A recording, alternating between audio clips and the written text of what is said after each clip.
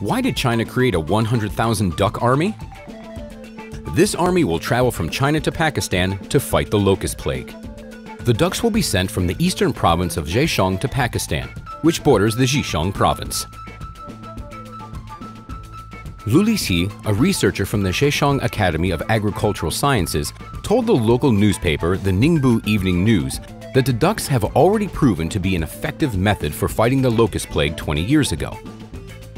In the year 2000, a 700,000 strong army of ducks and chickens was sent to Xizang to battle a locust infestation, which destroyed over 3.8 million hectares of crops and grassland. At the time, the researchers have found that ducks were more effective than chickens in destroying the devastating pests. One duck is able to eat more than 200 locusts a day, Lu Lixi said. Lu Lixi also said that ducks were more likely to stay in a group which makes it easier to manage them than chickens. He also added that using ducks as biological weapons was a cheaper and more environmentally friendly alternative to pesticides.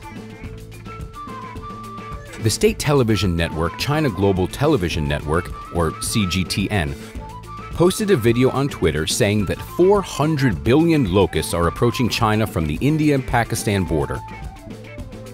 100,000 duck troops are gathering to prepare for the potential emergency. The locust infestation of Pakistan has prompted the Prime Minister Imran Khan to declare a national emergency to protect the crops and the farmers. Information Minister Firdaus Ashiq Awan said, We are facing the worst locust infestation in more than two decades.